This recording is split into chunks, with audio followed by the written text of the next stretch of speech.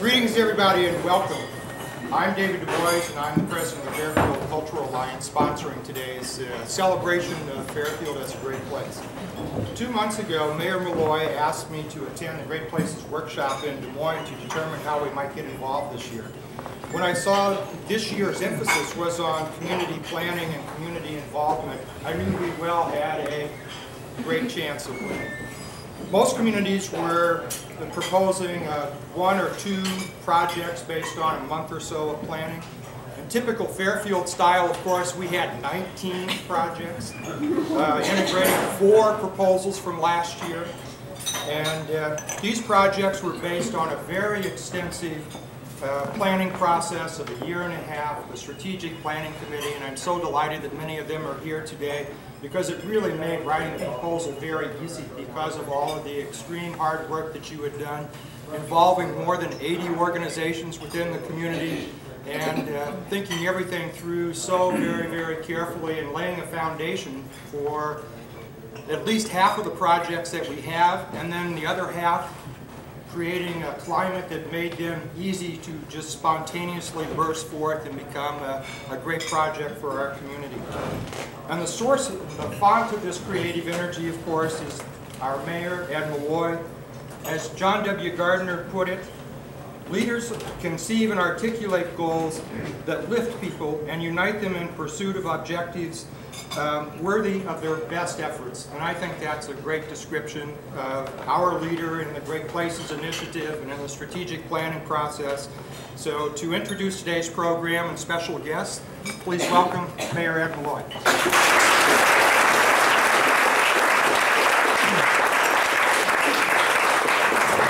Thank you very much. I think uh, everyone in the room knows better that uh, it's pretty easy to lead this community because we are a community of leaders. So I really salute all of you out there today. I've just gotten over the pinch me, uh, not dreaming stage of uh, the Iowa Great Places and have settled into the fact that Fairfield has been selected as one of Iowa's great places. It is a very, very distinct honor. It is something that I think in terms of its value to Iowa communities is only going to grow. Uh, the mystique of being selected this year, I think, was probably a hundred times what it was last year, and Anita would agree with me on that. But I think accomplishing it this year was especially gratifying.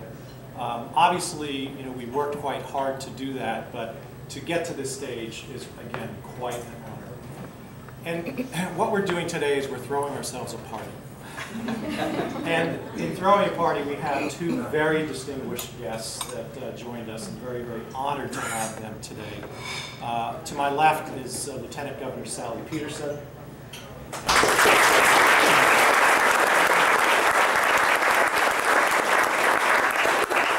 And to my right, Anita Walker, who is the Director of the Iowa Department of Cultural Affairs and head of this Great Places project.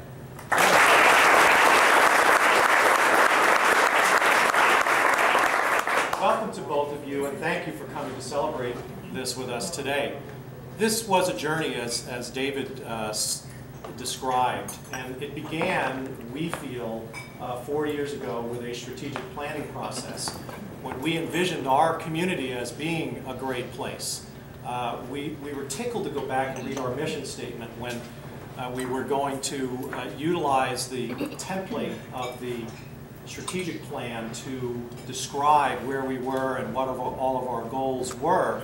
And when we read that we described ourselves as a shining star in among Iowa cities, featuring a revived and vibrant downtown, dynamic growing economy, a regional center for cultural and the arts, blending our natural heritage with all the best elements of a big city, we said we had that vision uh, four years ago, so we, it really excited us to go forward and to, uh, to really map all of these great initiatives that are going on today to our strategic plan. Now, strategic plans tend to be documents that are well-intentioned, but don't really move off of the uh, shelf. And I was reminded of that quite a lot while we were going through this process. But I'm happy to say that in reviewing, uh, we have I think we had a, a total of 76 different initiatives, and there are about 60% of those that have some activity going on. Some of them are already fulfilled, some of those are in our great places. And that group uh, that put together our strategic plan uh, dedicated about 15 months in doing so, and I'm not sure that they've really gotten the recognition that they deserve for what they put together for our community. So I'd like to start by asking those uh, members that are out here that served on our strategic planning committee to please rise and be recognized.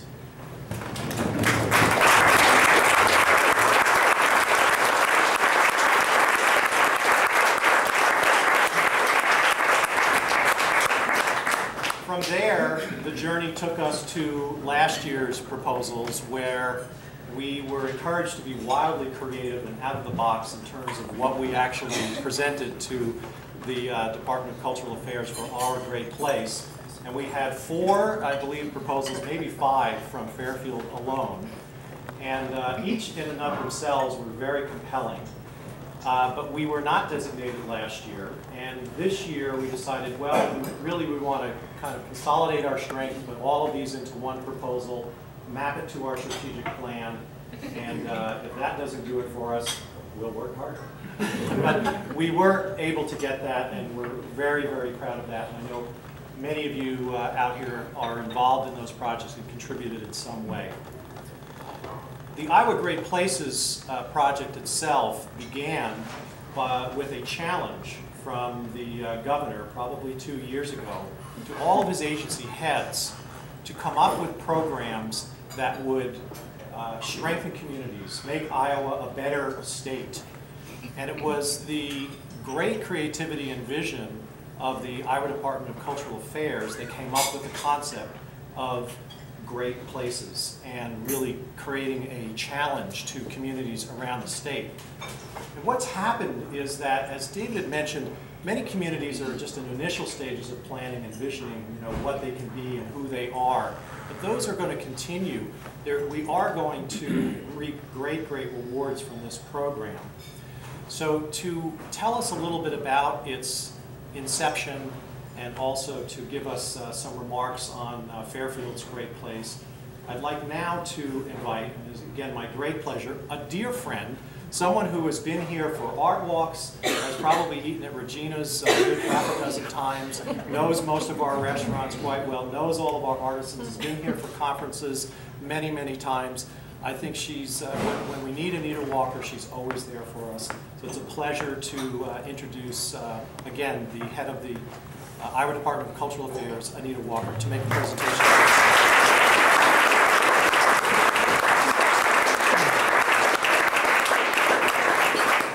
Well hello everyone. And I for me, there's only two things you need for a great place, and that's great food and great people. And I always find when I go to Fairfield in great quantities. So thank you, thank you so much, all of you, for coming here today.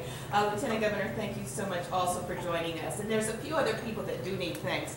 First and foremost, this community for stepping up and really finding a way to work together to develop such an innovative and creative concept for great places that we know and are convinced will become a reality and is, as we speak, even as I was driving around town seeing construction underway, I could see the Great Places Initiative coming to life. Um, Lieutenant Governor Sally Pederson and Governor Vilsack have been enthusiastic about Iowa Great Places, and without them, we would not have this program because they picked it among all the proposals, and I don't know how many you had to look through, thousands probably from the different state agencies. But it's their commitment to the vitality of Iowa and the strength of our communities that led them to select Iowa Great Places as one of the initiatives that we would pursue. And I know we have legislators in the room, um, brand new ones, and veteran legislators. If you could stand up, please, and be acknowledged.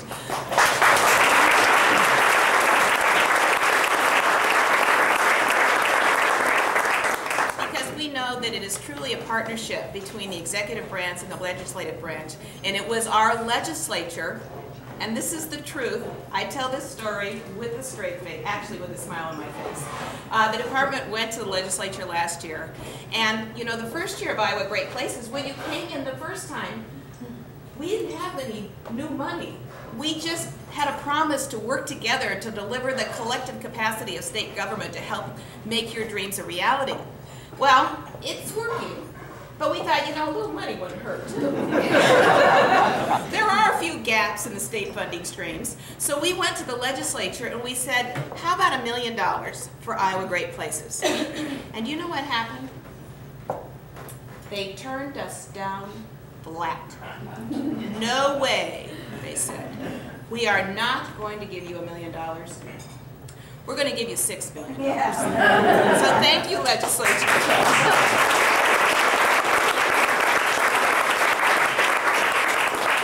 And that is funding that will be available over the next two years for our six new uh, Great Place um, uh, endeavors and projects. So uh, there's a little bit more to work with as you uh, work on your strategic plan and making these Great Places initiatives come true. You know, the, to me, Fairfield is really the quintessential example of the idea behind Great Places, and it was probably swimming around in the heads of the designers and creative people who came up with Iowa Great Places in the first place. Because Great Places, first and foremost, calls on Iowans to focus on what is real and genuine and authentic about your place.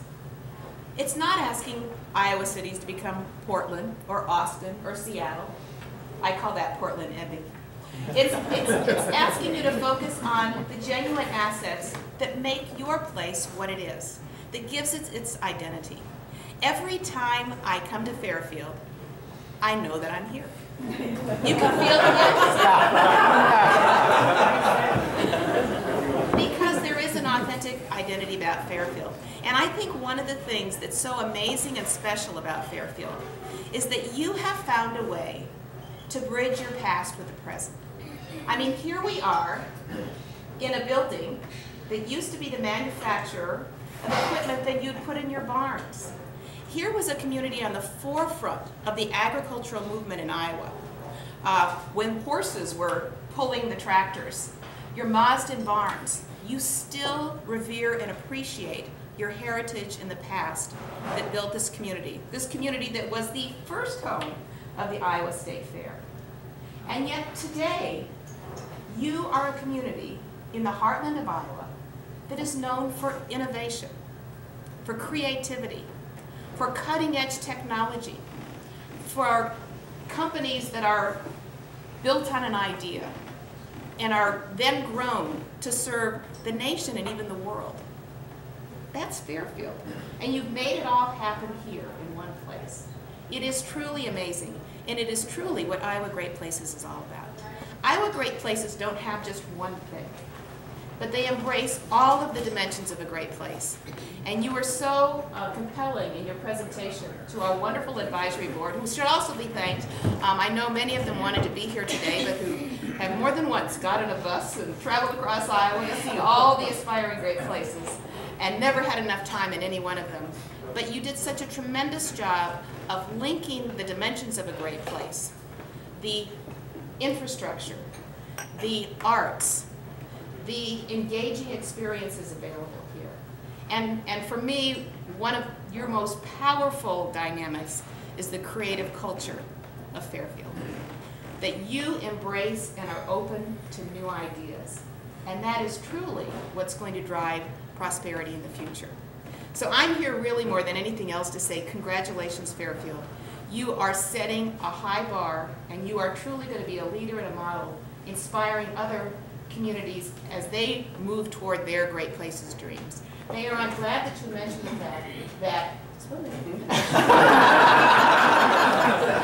I'm glad you mentioned that while we were able to select six um, great places this year, that there are literally scores of other communities with people like you who have hope and confidence and pride in their place, who have a sense of place, who are moving their initiative forward as well.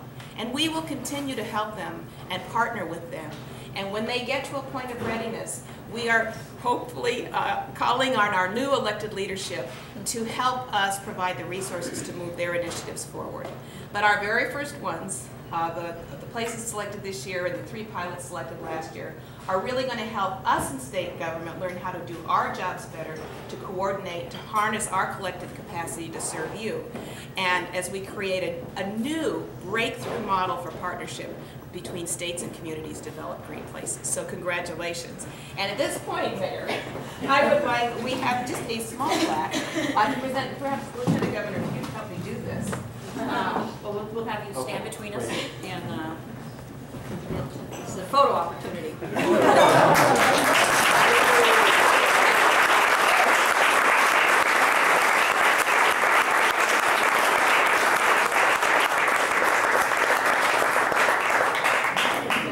Thank you very much.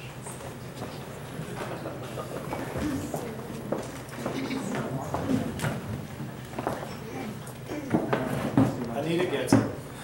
Anita really gets it. She understands our community, but she also understands what it takes to inspire that kind of vitality throughout the state.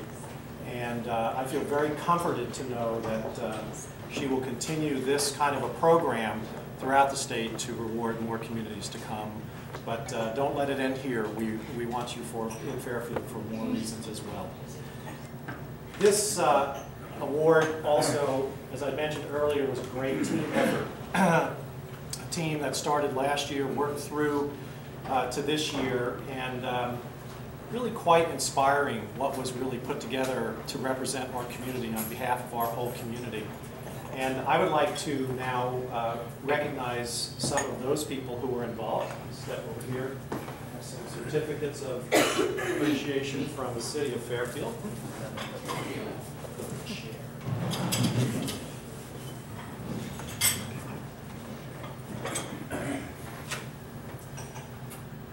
First one I'd like to present is to our uh, host and master of ceremonies today, David Du Bois.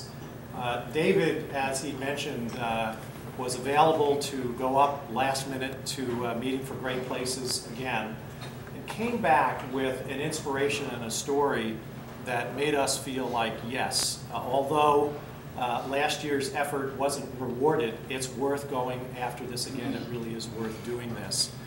And David has a great, great organizing skill, and a great, great people person, and a great, great vision. His vision for Fairfield as a creative community is probably as strong as, as anyone's. And his commitment and his passion to this effort uh, was unparalleled this year. And David, we really appreciate what you've done, so please uh, come up and accept this.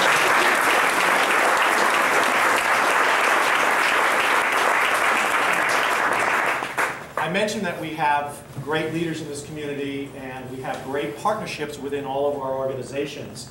Represented here today are members of our County Board of Supervisors, our City Council, our Economic Development Association, our Chamber of Commerce, our Civic Center Board, our Convention and Visitors Bureau, our Trails Council, on and on and on. Our university, Maharishi University of Management, and really, all of those members uh, were significant in the role that they played.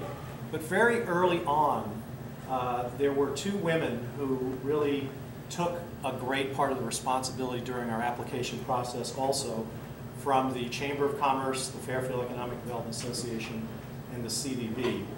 And I'd like to present now Diane Gilmore from the uh, Chamber of Commerce and is also the Executive Director for the Economic Development Association.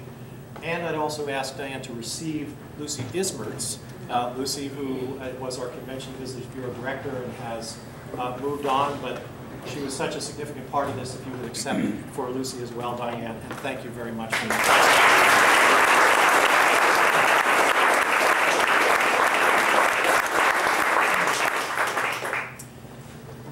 From our city council, uh, representing the city's position in our downtown streetscape, which I think was a major, major puzzle piece for this year's program, and someone that has been involved with the strategic planning process, with many other grant applications, is also a member of this Fairfield Cultural Alliance and one of the founders, uh, Connie Boyer. I'd like to, uh,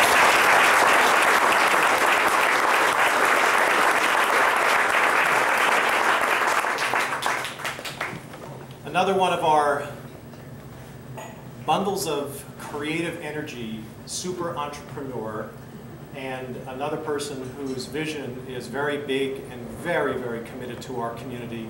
Someone who was really the inspirational originator of our effort last year to uh, approach the, the Iowa Great Places uh, Award and was a big part, instrumental in this year, is Burt Chojnowski.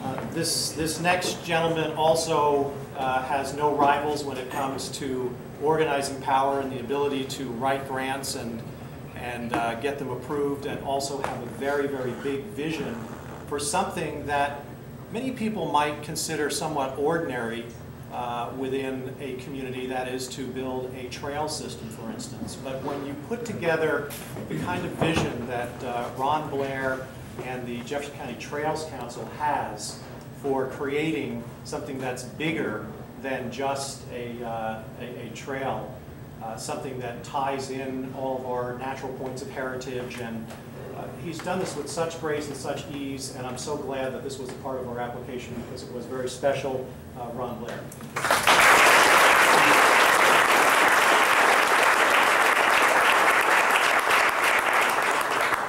Forgot to mention also that uh, mo most of the people that I'm introducing here were part of our presentation to the uh, Great Places uh, judges when they arrived. So these are people who prepared very well for a very brief three-minute talk to get all these concepts out as quickly as possible and did a wonderful, wonderful job.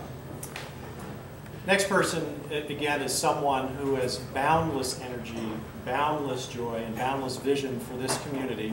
Someone who has taken over a, what is basically the center of our cultural uh, importance here in Fairfield. It's something that has grown in reputation enormously over the last couple of years. It's a big, big part of our Great Places run from last year to this year, and that is the uh, president of the Art Walk Board, Holly Moore.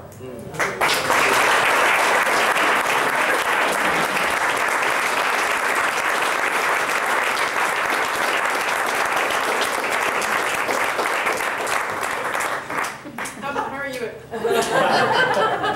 Sorry, Holly, I should have given you a heads up to move to the outside. Thank you very much. Thank you. Next, uh, we have a team of gentlemen who were representing uh, Maharishi Vedic City in a very, very interesting, unique amenity there, the Vedic Observatory, which has a tourism base uh, all its own, very, very quietly up in the cornfields, uh, a couple miles north of our city. But something very, very unique, very, very compelling within our application. And uh, I wanted to present to both Tim Fitzrandolph, who made the presentation uh, on that day for us, and also Kent Williams, Kent here? Kent representing uh, the city as well.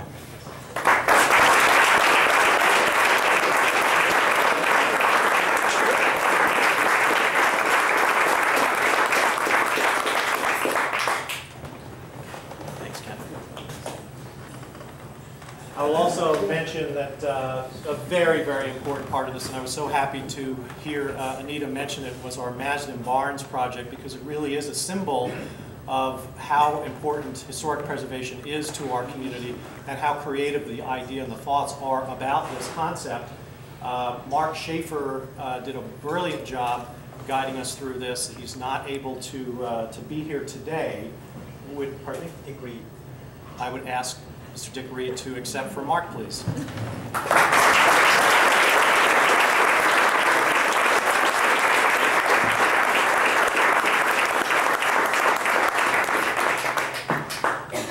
Appreciate it. And finally, a very special award. Uh, When we were told that we were going to be visited by this team of judges traveling on a bus, we were their third day on the road of four, and that we had an hour to make our case, and we could do it any way we wanted to. We could tour the community, we could do whatever. We said, wow, we've got a lot, we've got a lot to tell, we've got a lot to show. And we thought, you know what, no, we're just going to pick a place in our downtown that will give them the feel and the atmosphere of downtown. But we said there's just so much here, and we knew it was going to be a series of talking heads and a few display materials we said, I don't know, we, we have to do something more. We have to really catch the feel, the flavor of this community in some very, very compelling way. So my first thought was a video. And um, my first call was to Tim Hawthorne, who is president of Hawthorne Direct, a company that is 20 years old here in Fairfield this year and is one of the premier advertising agencies in the country for long-form uh, television advertisement. We know they've got all the equipment, we know they've got all the expertise, but when you're giving them two weeks' notice to pull something like this together, you just don't know what they're going to say. Tim instantly said yes. I received an email within 30 minutes from his production team, and we collected a lot of, as much material as we could, and within 10 days, we had something that we're going to turn into a great marketing piece for Fairfield. And we owe a great debt of gratitude to Tim Hawthorne and his production team of Randy West and Kent Hoffmeister and Josh Young and uh, Bob Moore. Uh, anyone who is with uh, Hawthorne Direct, would you please come up and receive the uh, Mayor's Community Excellence Award for your work in the video production.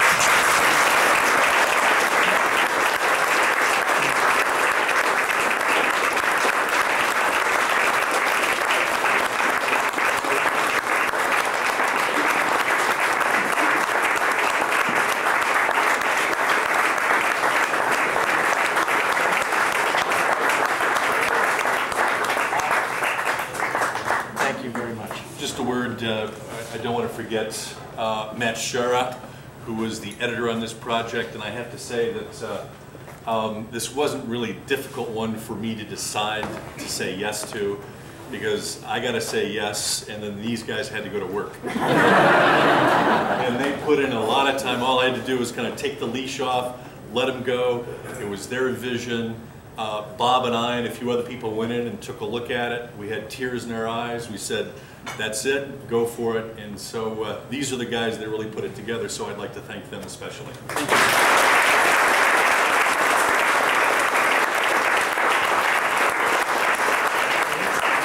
I'd like to now present a copy uh, to Lieutenant Governor Sally Pederson and also Anita Walker for their enjoyment. It's about seven minutes, so don't think that uh, we're drawing into too much time. Seven hour break. Right. Will be released in time for the Oscars. So again, thank you all very, very much for all the contributions that you made. There are many others in the room that were part of this as well. Uh, It is my pleasure now to invite to uh, address us, again, as Anita had mentioned, uh, really the decision maker, the, the inspiration for this. What Governor Tom Vilsack and Lieutenant Governor Sally Pederson have done over the course of the last eight years is really change the landscape of Iowa and inject an optimism and an enthusiasm about the state and about our communities on an individual basis. As I mentioned, this was a challenge from, from the governor's office to the state agencies because they passionately believe in Iowa, passionately believe in the future of Iowa's small-town communities. And I couldn't think of a more brilliant way to incentivize and encourage that. I don't believe there's any program like this that exists anywhere in the uh, state of Iowa. So we're very fortunate in the closing days of their administration to have with us today to help celebrate and enjoy this great, great event, uh, our Lieutenant Governor, Sally Pederson.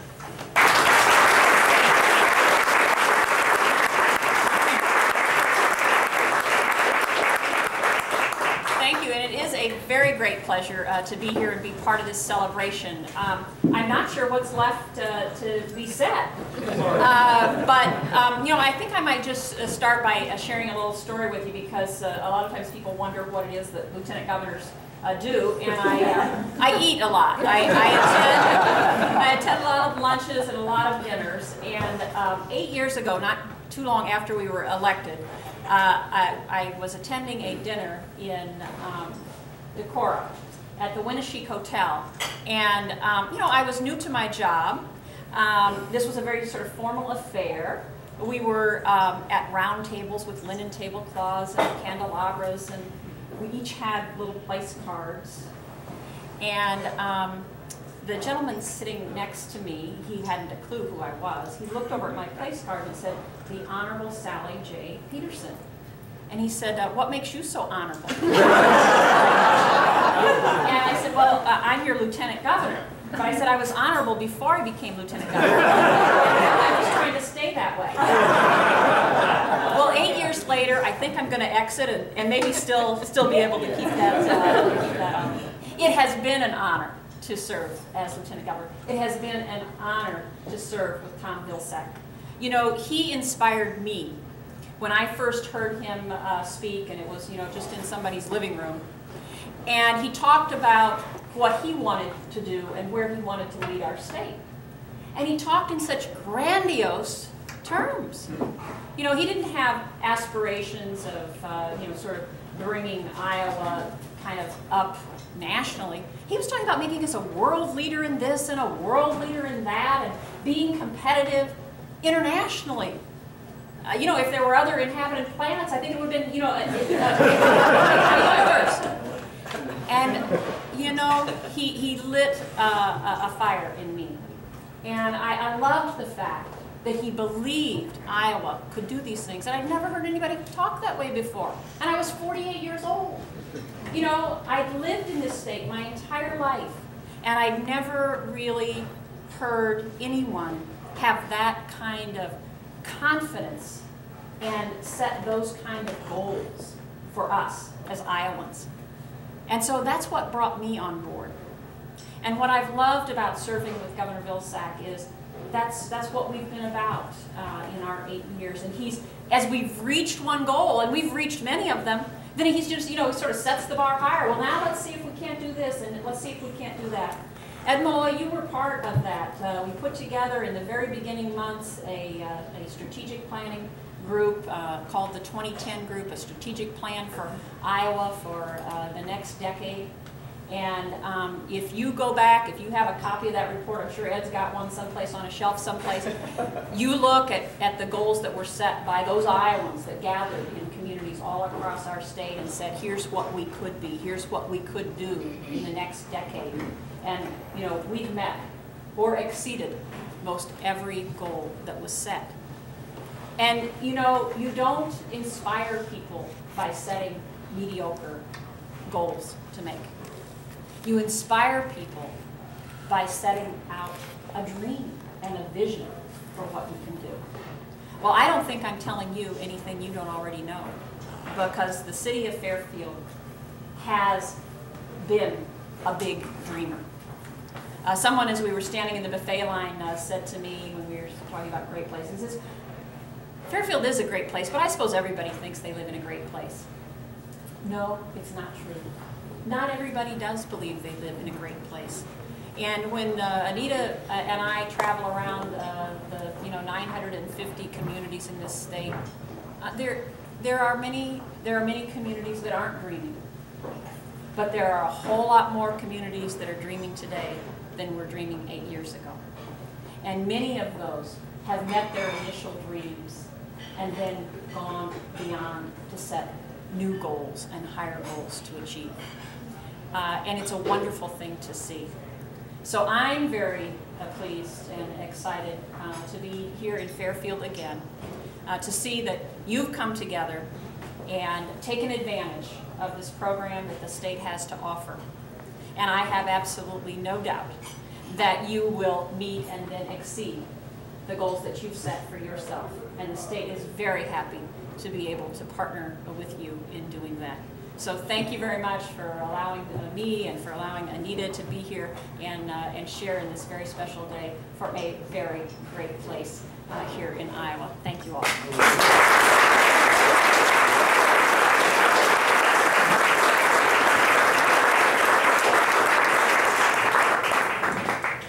Amazing. It's actually one o'clock and we uh, finished on time. So, uh, so I guess I have to ditch that other speech. Any, anyway, you know, we're only, we're, they had a year and a half, 15 months of planning, and then uh, launched into three years now it's been. So uh, we're early in our midterm grade report. Looks like we did okay. So uh, I'm really excited to see what everyone produces in the next six years. So thanks a lot for coming out. Thank you.